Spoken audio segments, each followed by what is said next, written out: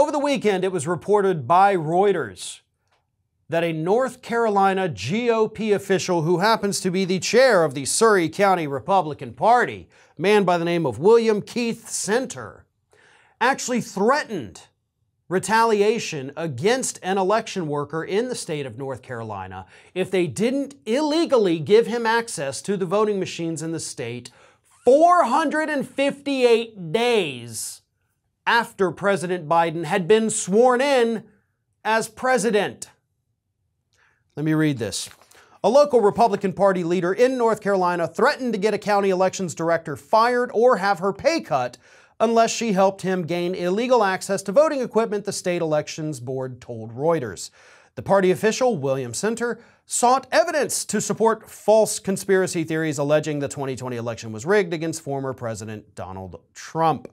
Senter was aggressive, threatening, and hostile in two meetings with Michella Huff, the state elections board said, uh, according to witness accounts. So, all of this happened. The request was made on March 28th of this year, 458 days after President Biden had been sworn in as president. And this moron, Mr. Senter, William Senter, was still requesting access to those voting machines. That's how far this big lie has gone. 458 days, again, after Biden was sworn in, not after the 2020 election, not after the January 6th certification slash insurrection. 458 days after he had been sworn in, this idiot still said, Give me access to these voting machines because there's a chip in them that was doing something.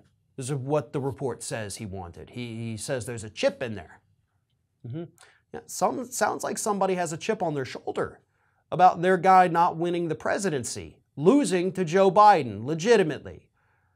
The 2020 election, of course, was not stolen. They have no evidence to suggest whatsoever that it was stolen. They have had ample opportunity in the more than 458 days since President Biden was sworn in to provide us any of this evidence that they claim every day totally exists. They've failed to do it because it doesn't exist, folks. I want to know, I, I genuinely want to know why these people out there who insist that the 2020 election was stolen, why do you think it is that nobody has been able to provide any actual evidence of this? Why do you think Mike Lindell has held two cyber symposiums, has drafted his own lawsuit, but can't get a single Republican Secretary of State to even sign on to it? And he still provided no evidence. Why do you think that is, folks? Why do you think the election was stolen in spite of the fact that none of the people telling you that it was stolen can give you any evidence. That's what I want these people to genuinely answer. And of course, there was a deep dive into some of these people recently where they said, I, I, don't know how it was stolen, I just feel like it was. Something just felt off. And of course, they used Donald Trump's talking points. They said, well, Trump was filling stadiums, Biden couldn't get 50 people. Okay, so Democrats aren't a cult to the degree that Republicans are. We don't need to go and worship at the altar of our political candidate. Rally size really has nothing to do with whether or not people want that person to be president. And Republicans just can't seem to wrap their heads around that.